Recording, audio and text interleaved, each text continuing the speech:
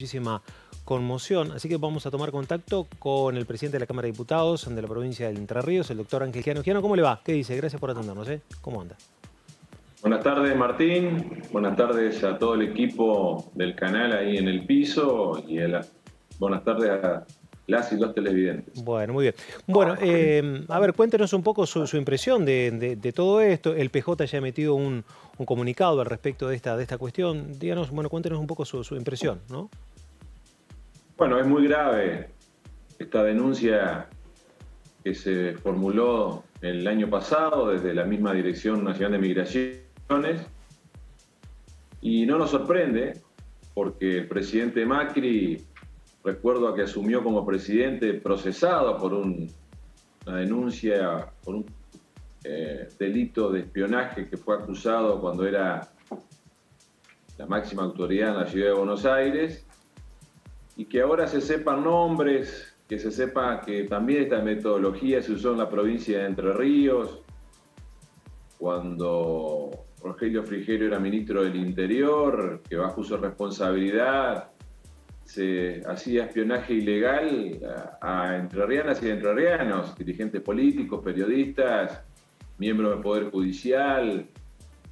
Eh, seguramente también aparecerán otros nombres en los próximos días vinculados a, al sector empresario, es decir, sin límites, violando todas garantías constitucionales, eh, la privacidad de las personas y llevando adelante claramente una actividad ilegal, ilícita, eh, que, bueno, la justicia determinará las responsabilidades, pero no, no, hay duda que el gobierno de Macri, al cual pertenecía Frigerio y que era responsable como ministro del Interior, eh, va a tener que rendir cuentas en la justicia porque esta metodología es muy antidemocrática, debe ser condenada, pero, que, pero lamentablemente era parte de un sistema del gobierno de Macri eh, absolutamente fuera de la ley.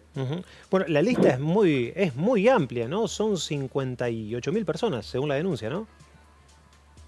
Esa es la denuncia que está radicada, bueno, en, en los tribunales federales en Buenos Aires.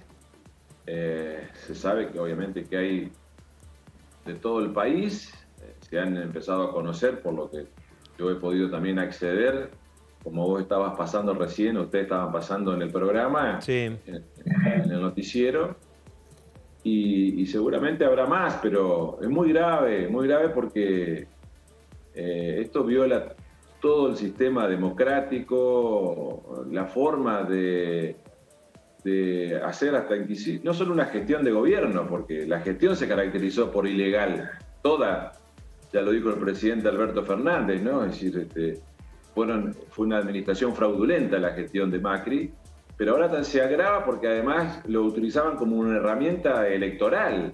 Si le hicieron este espionaje ilegal, eh, para poder utilizarlo, que de hecho lo hicieron en las elecciones del año 2019, donde acá en Entre Ríos se ganó muy bien en, las PASO en agosto, y para octubre y utilizaron todo este tipo de maniobras ilegales, delictivas, para poder acceder a mayor cantidad de votos o quitarle al, oficialismo, al Frente para Todos o al Frente Creer Entre Ríos, eh, votos y, ganar en algunas ciudades o reducir la diferencia que se había obtenido en las pasos. Es muy grave. Ojalá que la justicia rápidamente determine la responsabilidad y que se erradique definitivamente eh, esta forma de, gestionar política que la institucionalizó el macrismo desde que era máxima autoridad en la Ciudad de Buenos Aires y obviamente cuando fue gobierno nacional y lamentablemente se replicó en todo el país y aquí con sus representantes en la provincia de Entre eh, ¿y qué se buscaba puntualmente? ¿Qué presume usted, ¿no? como abogado también, que, podía llegar a, tratar de encontrar este, a través de este sistema de espionaje? Veo un montón de, personas. Este, ¿qué, datos? O sea, si salían del país o hacían algún movimiento, rápidamente informar eso. Yo creo que utilizarlo como una metodología ilegal de tener un rédito político, como que si eh, la cantidad de viajes al exterior que una dirigente o un dirigente del oficialismo realizara, o un dirigente de otro sector que no sea el oficialismo, como puede ser el Poder Judicial, como puede ser el sector empresario o el periodismo, pueda influir porque eran opositores al gobierno de Macri en la elección. Esa fue la metodología, esa fue la intención, la finalidad claramente y quizás le haya dado algún rédito eh, o haya formado parte de la estrategia ilícita que llevaron adelante para obtener más votos en, las generales en, agosto, en octubre que en agosto. Así que yo entiendo que lo, este proceso ilegal o el procedimiento ilegal lo tenía como parte de una forma de, hacer política, lamentablemente el peor gobierno democrático que hemos tenido en Argentina. Bueno, y usted, y usted entiende que van a, se van a conocer seguramente en las próximas horas más, más nombres, ¿no? De diferentes sectores. Bueno, eso eh, se irá seguramente sabiendo con el correr de los días. Es una denuncia que ya tiene seis meses de antigüedad.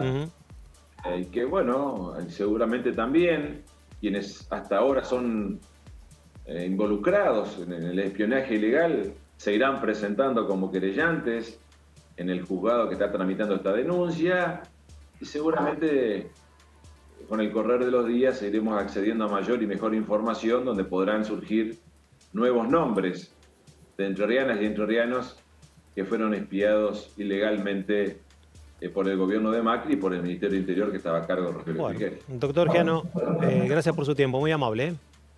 Gracias a usted por la entrevista, buenas tardes y saludo a todos los televidentes. Que ande bien, ¿eh?